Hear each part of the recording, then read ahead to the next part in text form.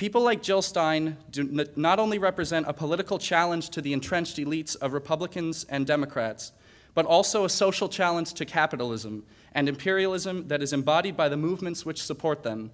It is in this spirit of left solidarity and optimism for the future that I would like to introduce to you Green Party 2016 presidential candidate, Dr. Jill Stein.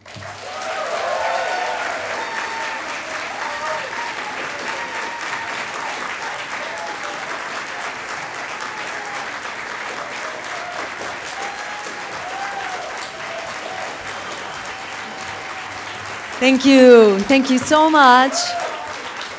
Thank you, Rutgers. Thank you, New Jersey. Thank you so much, Don, for that very kind introduction. Thank you all for coming out tonight. And thank you, Rutgers, for doing the amazing work that you're doing, standing up against sweatshops, standing up for your faculty and their right to decent wages and job security. Uh, thank you for standing up against Condoleezza Rice as a as a uh, as a commencement speaker. Thank you for standing up on all those counts. And this really is a time to stand up. And as as Don was saying, this is a time for us to come together across historic divisions because we really have an unprecedented crisis, a crisis of our economy, of our ecology, of peace and democracy and civil liberties, and you name it. Uh, all of this is very much imperiled right now. There's a wonderful example of how we are coming together as a people right now up in North Dakota, where the Standing Rock Sioux are coming together with 200 indigenous tribes overcoming their historic divisions in order to come together for the humanity and for Mother Earth, which is all imperiled and really requires us to stand up right now as one people for one planet. And I want to give a thank you to Standing Rock.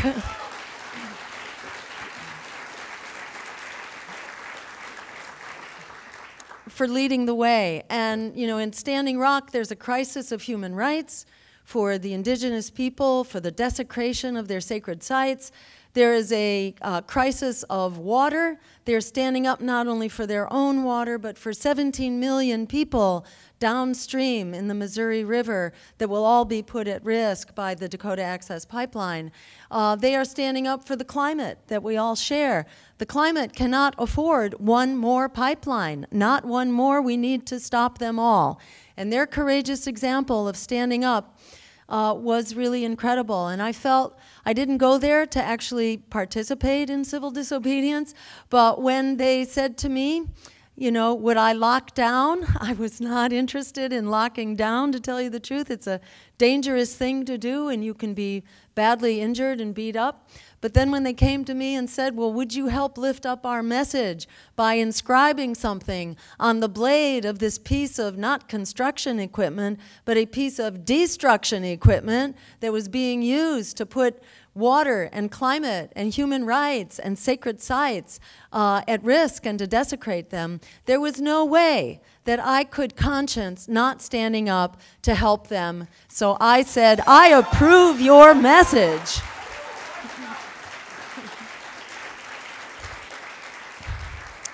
And, and I think the, um, the police made a mistake. They issued a warrant for the arrest of the wrong party because I was not uh, the vandal here. The real vandal is the Dakota Access Pipeline Company, which is vandalizing our planet. And I must say, I felt very vindicated when the president, two days later, said, Yes, indeed, you have to stop this right now, and we need to go back to the drawing boards. So, this is the kind of courage and the kind of unity that we need right now to come together. And in fact, when I was there, I learned that there are uh, native legends, including a legend foretold by Black Elk that seven generation hence, that the earth would be sick and dying and that the native people would come together and lead us forward uh, in unity to uh, save Mother Earth and humanity. And, you know, it's kind of an eerie thing, but that is kind of what seems to be happening right now.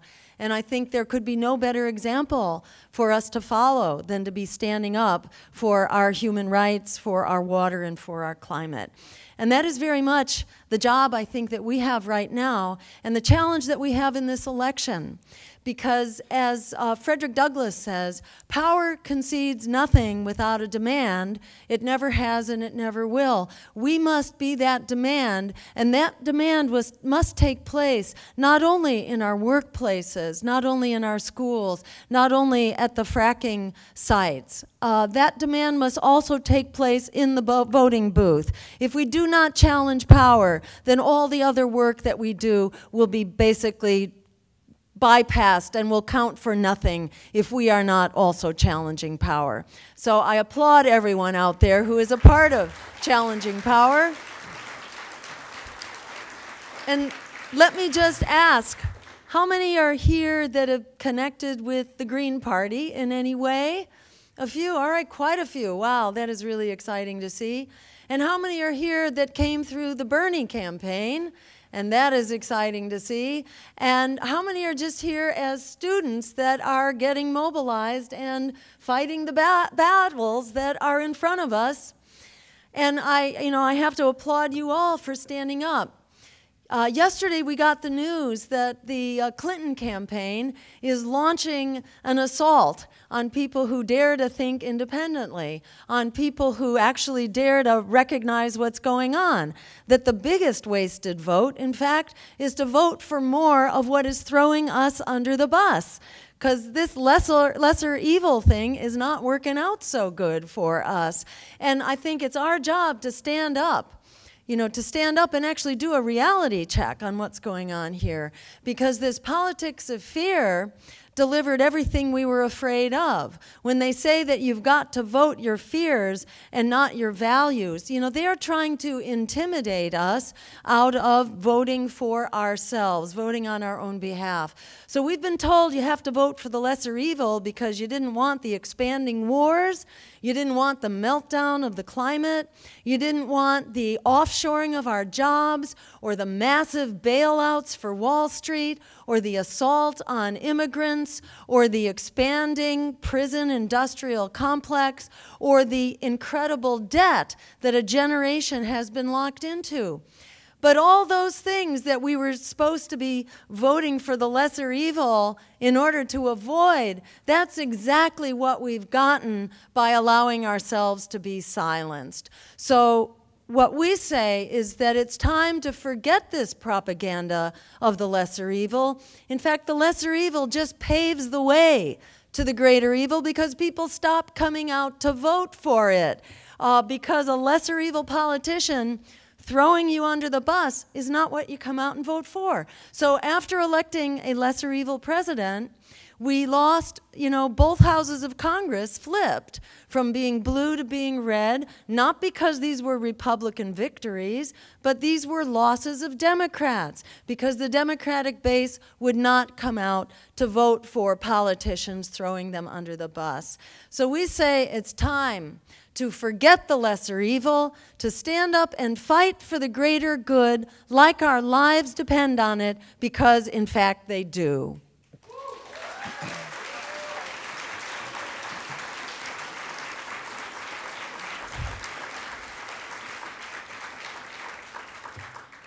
So, you know, when we start to hear from Hillary Clinton's surrogates uh, about why we have to be good little boys and girls and follow our marching orders from the political operatives and the uh, media pundits who are all telling us to just keep vote, voting for what's throwing us under the bus, you know, uh, we say just, just forget that because the majority of American voters now have rejected both of the major party candidates. They are the most disliked and most untrusted presidential candidates in our history. So why are these guys telling us that we have to keep voting for them when they don't have our votes to start with? We're not stealing those votes. There's no new entitlement for big, rich politicians and their powerful establishment parties, they're acting like they're entitled to our votes. They have to earn our votes. They don't own our votes, and they don't have our votes. They are the most rejected candidates ever.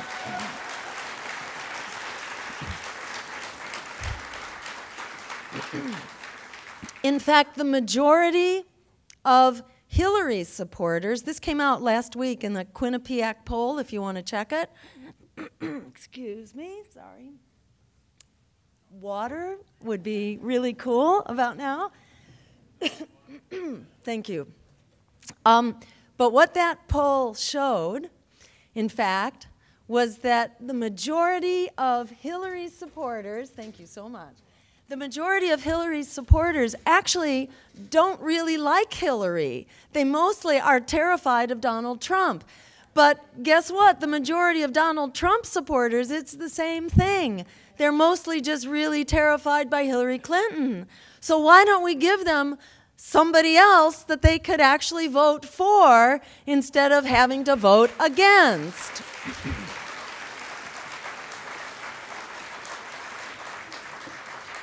Because democracy is not just a question of who do we hate the most and who do we fear the most. Democracy needs an affirmative agenda. It's got to be about what we're for. And it needs a moral compass, you could say, because if we bury our values, we leave a moral vacuum that gets filled by the predatory politicians that are doing the bidding of the predatory banks and the Wall Street profiteers and the fossil fuel giants and the warmongers. So that's not our business, that's their business. And we know not only from looking around, but we also know from these studies, like out of Northwestern and Princeton, done a couple years ago, that showed there's about a zero relationship between what everyday people want and what actually gets done in Washington, D.C. So we're saying it's time to throw the bums out. It's time to stand up for what we deserve. And by the way, they could fix this voting system anytime they want and create ranked choice voting, which gets rid of the fear. It lets you actually rank your choices. You could put your first choice an underdog number one if you want, and your safety choice is number two. And it ensures that your vote will be reassigned from your first choice to your second choice if that candidate loses. So it's a win win. The first time I actually ran for office, running against Mitt Romney for governor in Massachusetts, way back in uh, 2002, thank you, uh, we actually proposed that bill in the Democratic legislature so that they could avoid any splitting of the vote, any unintended consequence by having a third party candidate run. They could have fixed it, but they didn't. Even 16 years later, they won't let that bill out of committee, which tells you something. They rely on fear. They want you to be intimidated into voting for them. And why do they do that? Because they know that they don't have real reasons positive reasons for you to vote for them, which tells you they are not on our side. That alone is enough reason to lose them your vote. They do not deserve your vote if they are unable to actually fix the voting system to liberate our votes. It's time to stand up against that kind of intimidation. So I'm going to just run through a couple of quick uh, solutions because I know we're going to we're going to go to questions real soon. But I want you to know more than anything to reject this uh, propaganda of powerlessness. We are not powerless, we are powerful. And here's one way that we are powerful. If you just look at the number of young people, and some who are not so young, who are locked into student loan debt, that is 43 million people. That is enough to win a three way presidential race. So we actually have the power simply by letting people know that we can bail out the students. It's about time. We bailed out the crooks on Wall Street. Would you say it's about time to bail out their victims, the young people?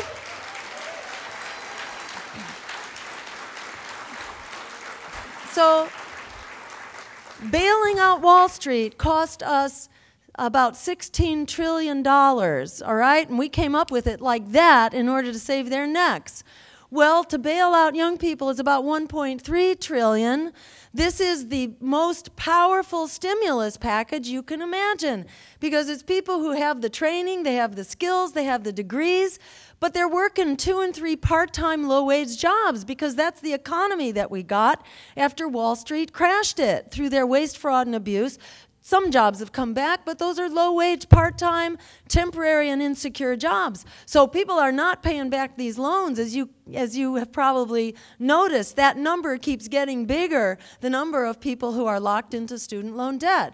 So we're saying this is the right thing to do, not just for young people, but for all of us, because this is how we create the economy of the future by turning loose this generation that is ready to reinvent envision and recreate the just, sustainable, green economy of the future. This is what you deserve, and all of us need. So, just by telling your friends, uh, does anybody know anybody out there who's in student loan debt? I think there are probably a few right here. Just by letting your friends know. Uh, friends don't let friends stay home in student debt. Come out and vote green in 2016 and put an end to that debt. In coming out to do that, we have the numbers to take over this election. When they tell us, oh, but you're doing so bad in the polls, I'd say to the contrary. We're actually doing really good in the polls considering that we have not hardly gotten a dime worth of primetime media. Donald Trump has gotten $4 billion worth. Hillary Clinton has gotten over $2 billion worth. We've hardly had any, but we're not that far behind. Trump has had 35,000 times as much free media as we have. Hillary Clinton has 20,000 times as much, but they're not doing 35,000 times better. They're doing maybe 10 times better, but we would be doing a whole lot better because there are people out there who are dying literally and figuratively, for the kinds of things that we are bringing to the table. And that's not only ending student debt, it's making public higher education free and making private higher education affordable and debt free. It's creating it's creating an emergency jobs program a Green New Deal, like the New Deal that got us out of the Great Depression, but in this case, it's green. So it not only fixes this crisis of our stagnant and declining economy, but it also fixes the crisis of this climate catastrophe that's barreling down on us. So it fixes them both at once by doing what we did during the New Deal. This is not rocket science. Donald Trump says he's going to create 25 million jobs, but he doesn't have a clue how he's going to do it. More smoke and mirrors. We're going to do it the way it's been done before by funding it, by directly funding job creation, not through tax breaks, not through benefits for big multinational corporations, but actually by funding at the local level national funding but local control through a participatory and democratic process of one person, one vote, not one dollar, one vote, so that communities decide what kinds of jobs they need. And they can create worker cooperatives, they can create nonprofits, they can create small businesses, so that we have a mixed and small community based economy that is creating jobs in clean renewable energy, in weatherization, in uh, insulation insulation, in efficiency, in healthy, local, organic food production. So we have a food system which is good for us and the planet. And creating jobs in public transportation, and that includes safe sidewalks and bike paths. So we have a right to recreational transportation as well as to high quality, affordable public transportation. And just very quickly so you know when they say to you, oh, but we could never afford that. Actually, it turns out, and I can tell you this as a medical doctor, we get so much healthier by getting rid of fossil fuels that the savings in our healthcare system, which is really a sick care system, because what it does is patch us up after corporations have made us sick through their pollution and their bad food system and all that. Uh, we save so much money through this healthy food and healthy energy system and healthy transit system. We save so much on our health that the savings in healthcare alone are actually enough to pay the costs of the green energy transition. Not only that, but this Green New Deal revives the economy, turns the tide on climate change, restores our health, and it makes the friggin' wars for oil obsolete.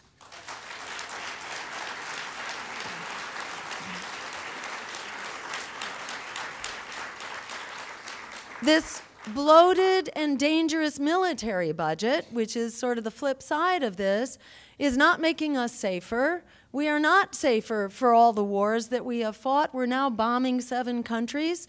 Uh, and where have we gotten with this? It's cost us $6 trillion according to a recent Harvard study, just for Iraq and Afghanistan alone, when you include the cost of caring for our wounded veterans. And our wounded veterans need much better care, as a matter of fact, better health care, and better housing, better mental health, and drug rehab. And they need a job, by the way, a job and job training, and they would get that job under the Green New Deal. Uh, but to pay for the costs of their health and the other costs of war, um, is six trillion, which comes to fifty thousand dollars for every household in America. Is this what you wanted to spend your fifty thousand dollars on? I don't think so. How about how about education? How about healthcare? How about a place to live? You know, the American people are goaded into this. We've been hoodwinked into this because because it's all being swept under the rug. And by the way, that's why we need to be in the debates, not just outside of the debates. We need to be in the debates.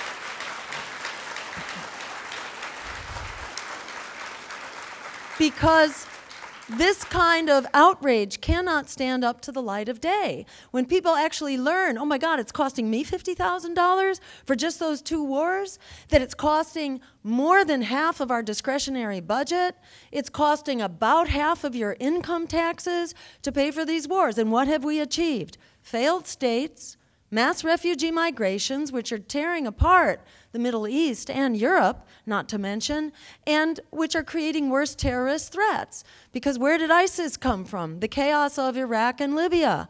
And where did Al Qaeda come from? Well, we trained them, right? Remember, we were training Osama bin Laden back in Afghanistan as part of trying to trip up the Soviet Union.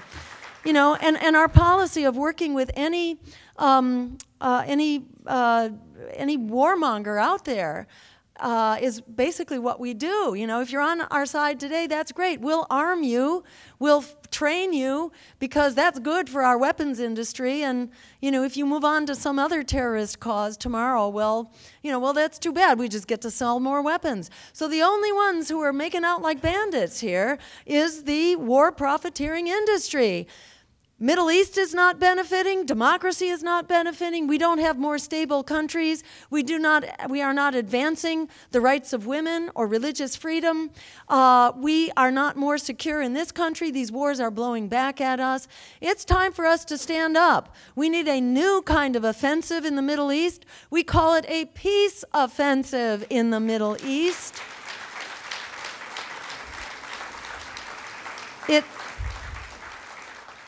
because we cannot simultaneously fight terrorism with one hand while with the other hand we and our allies are funding terrorism, arming terrorism, and training terrorism. Hillary Clinton herself identified the Saudis as still, long after 9 11, still the Saudis are the major funder of Sunni uh, jihad enterprises around the world. So we need to get serious and say to our uh, to our allies that we're turning over a new leaf. Of course, we need to say this with all humility because it's us as much as anybody who's been on the wrong side of the fence here. But we need to be turning over a new leaf and actually imposing a weapons embargo on the Middle East, which is not so hard to do because we're supplying the majority of weapons actually to all sides through our allies uh, and ourselves. So, a weapons embargo and a freeze on the bank accounts of those countries that continue to fund terrorist enterprises, uh, and also to uh, instruct our allies, Turkey, to close their border. They closed it to the movement of refugees. It's about, unfortunately, it's time to close it to the movement of jihadi militias so that they are not flowing into uh, Syria to uh, you know, to add fuel to the fire. But above all, we need to stop applying a flamethrower to the Middle East by promoting the sale of weapons to all parties, and that includes the Saudis, to whom we have sold over $100 billion worth of weapons over the last eight years. So, it's not rocket science. It's not rocket science how to fix this. Uh, I'll just mention quickly we need also a welcoming path to citizenship for the immigrants who've always been at the backbone of our economies and our communities. The most powerful thing we can do to fix the immigration crisis is to stop causing it in the first place through NAFTA, through the war on drugs, and by overturning democracies. So it's not rocket science how to deal with this, uh, the crisis of immigration. Um, we need to create health care as a human right through Medicare for all. It's long overdue. And we need it's time to put an end to police violence and this uh, uh, epidemic of racist violence in particular, which pervades society throughout. It's part of our economy. The uh, economic disparities have real violent consequences, whether in our economy, in our school system, uh, in the mass incarceration that has massively incarcerated disproportionately people of color. We need to end the racist war on drugs and treat drug problems as a health problem, not a criminal problem.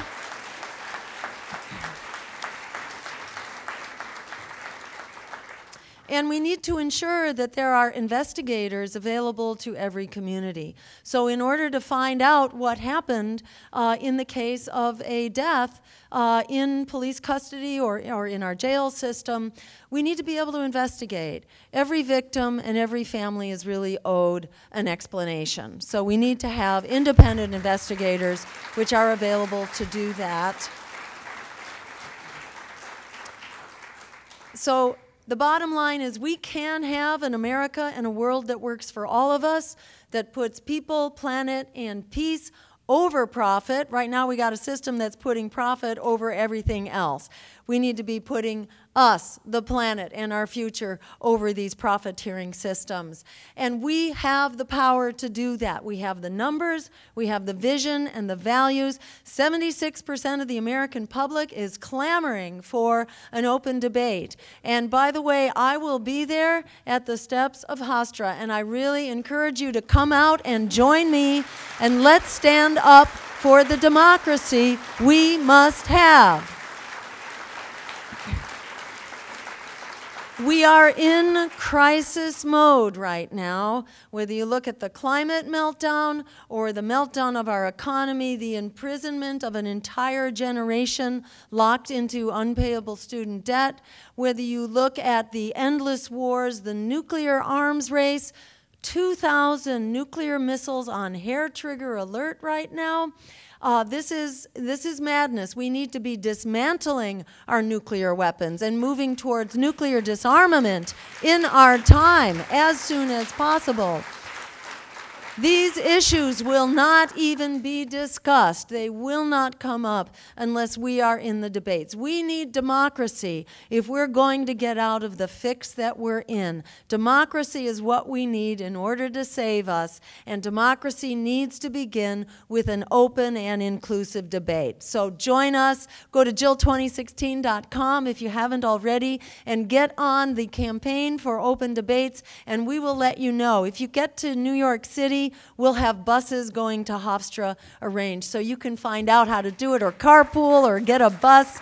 But join us when we stand up for democracy. And at the end of the day, we do have the power uh, to say no to the lesser evil and to fight for the greater good like our lives depend on it. The power to do that is not just in our hopes, not just in our dreams, it's right here at Rutgers. It's in our hands. Thank you so very much.